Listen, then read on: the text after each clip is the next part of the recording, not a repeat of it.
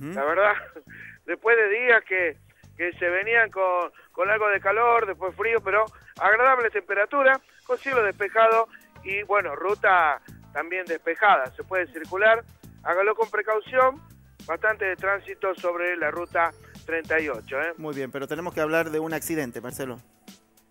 Lamentablemente, un accidente que ocurrió el, ayer domingo, eh, precisamente a la mañana, eh, cerca de la rotonda, el ingreso a Concepción, ingreso acceso sur de la ciudad de Concepción, donde un automóvil volcó. Por suerte, los ocupantes de este vehículo resultaron ilesos. Ah, Se trata de dos agentes de la policía que iban a prestar servicio a tribunales y que, bueno, eh, al llegar a la rotonda, eh, se están investigando la causa por el cual este auto volcó. Quedó dado vuelta. ¿eh? Claro.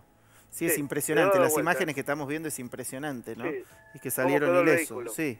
Sí, y llama la atención, Renzo, sí. porque si bien es una rotonda bastante amplia, hubo varios accidentes y en algunos de los casos fatales, justamente allí. Y ayer más, Marcelo, ¿no? Domingo que hay por ahí menos tránsito que, que, Exactamente, de la claro. semana. El domingo, sí, en, el domingo circulan menos vehículos, pero llama la atención. Bien. porque ocurren tantos accidentes, justamente allí en, ese punto. ¿eh?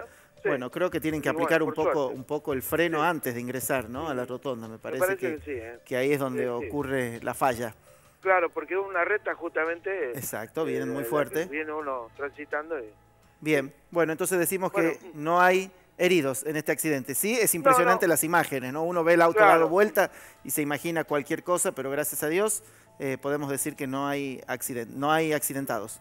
No, no, se lo fueron trasladados al hospital de, claro, por de Concepción, pero luego fueron dados de alta, eh, resultaron ilesos, por suerte. Bien, bueno, ¿alguna otra información, Marce?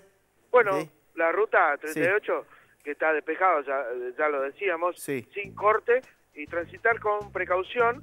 Recordamos que todavía estamos en época de zafra y hay tránsito cañero, o por lo menos por la ruta 38 de la vieja traza. Por la nueva no va a encontrar tránsito cañero, pero sí bastante vehículos a este, al comienzo de esta semana. Y bueno, siempre lo decimos, no olvidarse de encender las luces bajas que son obligatorias. Muy bien, las recomendaciones de Marcelo Villafaña en el sur de nuestra provincia.